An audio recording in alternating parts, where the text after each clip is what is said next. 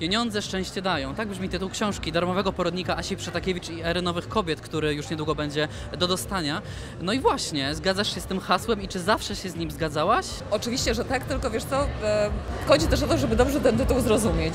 Pieniądze dają szczęście, bo pieniądze dają wolność, dają niezależność, dają decyzyjność e,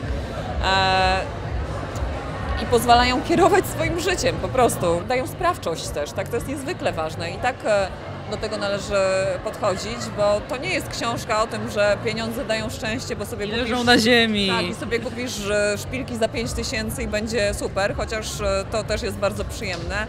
Ale to jest książka o bardzo ważnych sprawach, o przemocy ekonomicznej, o tym, jak my nie potrafimy o pieniądzach rozmawiać, a jak to jest ważne. Gdybyśmy od początku potrafili to robić i robili to, to pewnie byłoby łatwiej, pewnie wiele związków by się nie rozpadło, bo tak też się czasami kończy i to jest na pewno bardzo ważna książka, która mm, daje kobietom po prostu realne narzędzia. Ja mam też takie poczucie, że żeby osiągnąć jakiś sukces również finansowy, to czasem trzeba zaryzykować, wyjść ze swojej strefy komfortu, być może sięgnąć po jakąś szansę, która przychodzi od losu, a my normalnie to byśmy się bali i wcale z niej nie skorzystali. Tak, ale widzisz, ta książka wcale nie jest o tym, e, Joanna Przytakiewicz powie Ci teraz, jak być bogatym, jak zarobić pieniądze i jak wieść cudowne życie.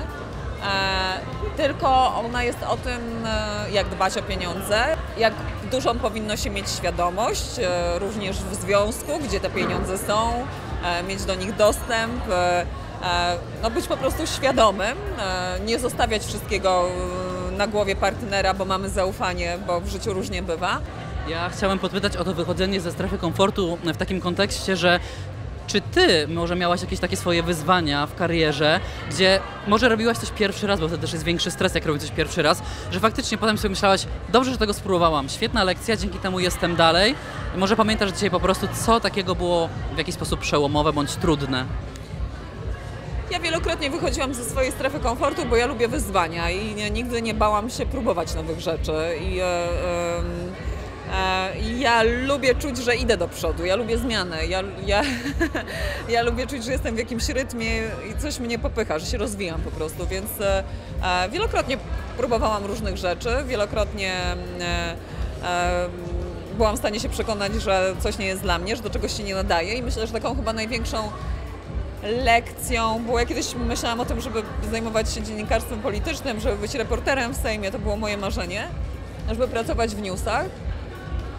I po praktykach e, w informacyjnej agencji radiowej, e, po jakimś krótkim stażu, e, zdałam sobie sprawę, że ja się kompletnie do tego, nie nadaję, dlatego że ja nie potrafię pracować pod presją czasu.